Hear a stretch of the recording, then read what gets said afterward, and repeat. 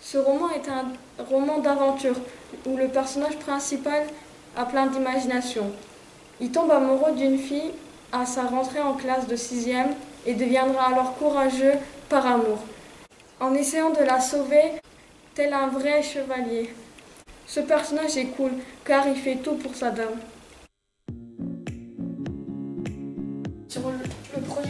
Nous avons des couleurs vives.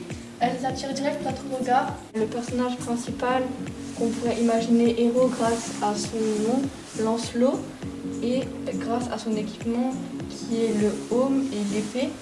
Au troisième plan, il y a la tour du Moyen Âge avec sa princesse. Il y a le temple de l'Antiquité. Il y a les maisons, la pharmacie. Sur certaines pages, il y a des illustrations d'une seule couleur, comme du bleu, du rouge, du vert et du jaune. Un nom de chevalier.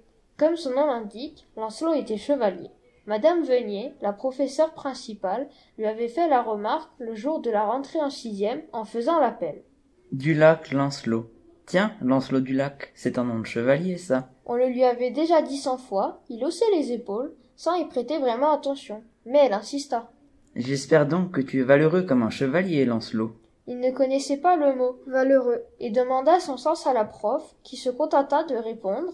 Tu iras chercher plus tard, ce n'est pas le sujet du jour. Étrangement, ce mystère aiguisa sa curiosité. Il s'interrogea intérieurement sur cette histoire qu'on lui répétait tout le temps.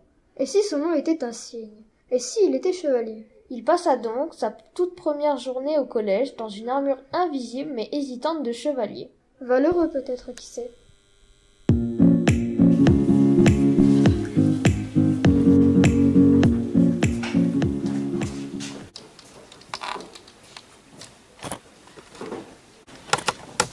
Salut Bernard. Où est partie Jennifer? C'est facile, il suffit juste de chercher. Regarde, Scola Jennifer, ça veut dire qu'elle a changé d'école. Et Domi Sangor Jacqueline, ça veut dire qu'elle qu'elle habite 5 rue de Gore. Ok, merci. À la prochaine. Au revoir.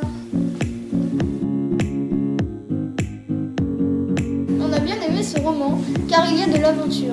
Par exemple, quand Lancelot était dans la galerie des miroirs et a semé ses vêtements comme le petit poussé l'a fait avec ses cailloux. Il y a aussi des obstacles, par exemple, lorsqu'il cherche des informations pour retrouver Jennifer qui avait déménagé.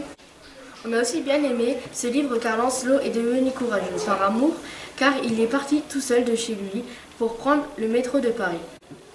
Et enfin, il nous a plu car les illustrations ont un style unique. Elles sont atypiques. Elles ressemblent à des enluminures modernisées.